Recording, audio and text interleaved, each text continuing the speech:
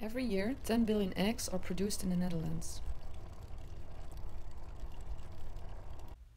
This creates 10 billion eggshells in search for a new application. Eggshells consist mainly of calcium carbonate, which is beneficial for the growth of several plants. I designed a ceramic-like material which is best suitable for single-use products like plates to use on events. Eggshells already find their way to different industries, but can become even more beneficial by creating an extra dot in its life cycle.